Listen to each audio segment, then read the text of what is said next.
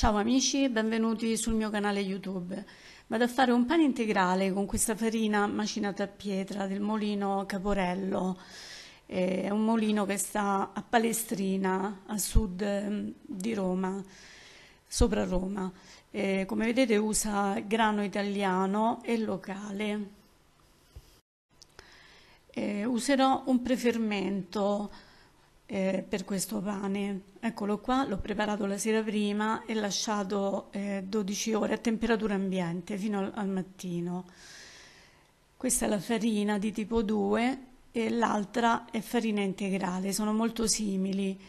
Eh, le farine macinate a pietra, come sapete, mantengono, vedete dal colore, non c'è traccia di crusca perché il chicco è macinato per intero quindi non c'è l'aggiunta eh, di altri componenti che prima tolgono e poi rimettono. Questo è il chicco macinato a pietra e, e basta. Sono tutte e due dello stesso molino comunque. Eh, io ho preso queste perché eh, si trovano in zona, eh, però ce ne sono di ottime in tutta Italia naturalmente. Ok, Metto nella planetaria la farina, ci verso sopra il prefermento, eccolo qua, e, e mano a mano aggiungo l'acqua. Voi se volete lo potete fare direttamente dentro la planetaria, io lo sto facendo così anche per farvi, per farvi vedere eh, la farina che sto usando. L'acqua mm, eh, ne ho preparata 2,50, però poi mano a mano vedo quanta se ne tira. Eh. E, calcolate poi che il prefermento eh, è molto idratato perché c'è 180 di acqua, eh, 40 grammi di pasta madre e 180 di farina, quindi ha già eh, la sua parte di idratazione. Diciamo che eh, con l'acqua che metterò siamo intorno 70, al 70%. Bene, vado poi a far girare in planetaria per 10-15 minuti e dopodiché metto in una ciotola e lo lavoro un pochino perché ho fatto girare poco, che siamo, sto facendo questo lavoro di mattina per non svegliare i vicini ho accorciato un po' i tempi della planetaria, la mia planetaria è molto rumorosa, devo assolutamente cambiarla. Ok, lo faccio rilassare un attimo e poi faccio eh, un altro giro di pieghe. Io l'ho lasciato un'ora, riposare un'ora prima di fare eh, il giro di pieghe. Ecco qua, questo, questo è il secondo.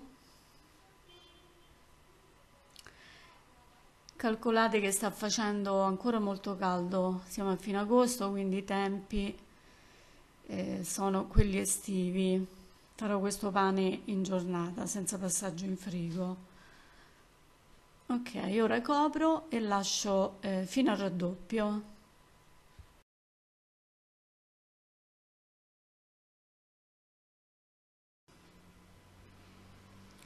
Eccolo qua dopo 4 ore, sono passate all'incirca 4 ore. E ora lo verso sul mio piano di lavoro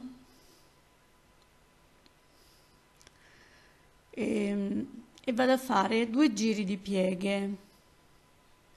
Con l'intervallo io ho lasciato un'ora, con l'intervallo di un'ora tra una piega e l'altra e poi un'ora anche prima della formatura allargo eh, un pochino con le mani senza mettere farina vedete si lavora comunque bene.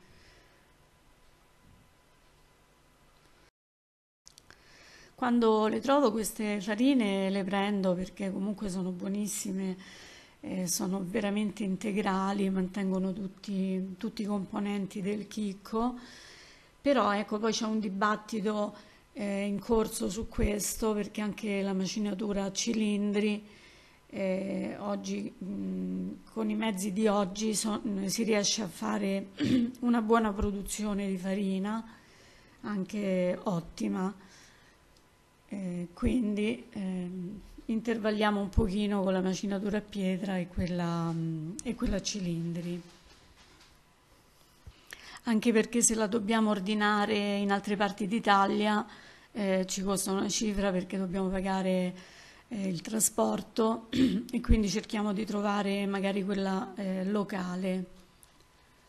Qui ho preparato anche i semini perché voglio fare una parte di questo impasto, ci voglio mettere un po' di semini in modo che userò quel pane per la colazione della mattina. Bene, ora allargo, passato il tempo, allargo, anzi tolgo prima la parte eh, con cui voglio formare una pagnottina piccolina con i semi. E, e il resto allargo, questi sono i semi, allargo per fare un filone.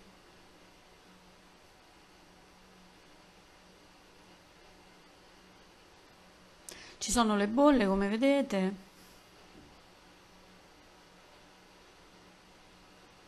Oh, io qui ho voluto usare il prefermento, eh, ma voi se volete potete usare benissimo eh, la pasta madre o i licoli cambiando le dosi, naturalmente aumentando eh, la dose della farina eh, che so, su, su, 500 grammi di farina mettete 100 grammi di pasta madre eh, o 70 di licoli. Se ne fate 600 aumentate in percentuale un pochino di più. Eh. Come sapete io non sono molto, eh, molto tecnica, quindi mh, mm, non sto lì a, a calcolare ehm, con precisione ehm, i grammi. Ok, come vedete ho avvicinato i lembi, ho formato un filone senza mettere farina, niente. Adesso la possiamo mettere però un po' di semola. Ecco qua. Ora questo va in un cestino e, e aspetteremo la, la prossima lievitazione, la seconda lievitazione.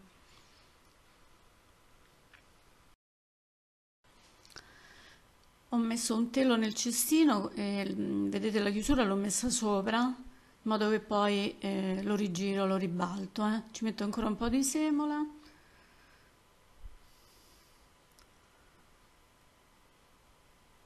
Mettiamola ancora un po' sotto. Copro e lascio lievitare.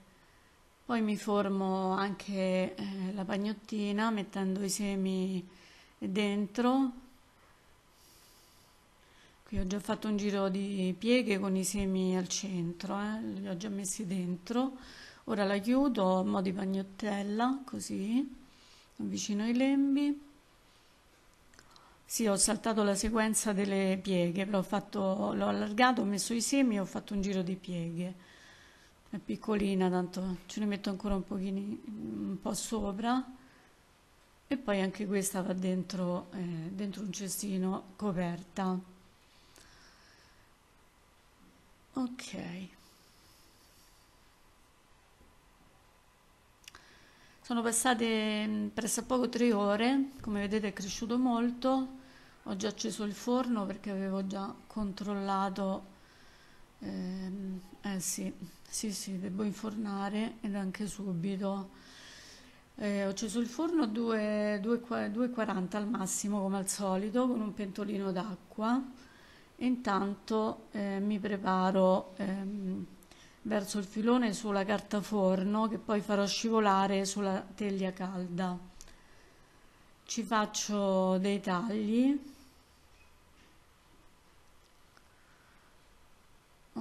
Farò dei tagli trasversali in questo modo. E poi faccio scivolare sulla teglia e inforno. Il pentolino l'ho lasciato mm, fino a che non l'ho visto bello gonfio, poi l'ho tolto, ho abbassato un pochino a 220 e ho lasciato eh, il pane in cottura, poi alla fine ho abbassato ancora un pochino a 200 e, e messo a spiffero. All'incirca sono in tutto 45 minuti. Eh. Ho cotto anche la pagnottina come vedete ed ora aspettiamo che eh, diventi freddo per tagliarlo. Eccolo qua. eh, profumatissimo, profumatissimo ed anche buono. Bene amici, vi ringrazio della visione e come al solito ci vediamo al prossimo video. Ciao a tutti!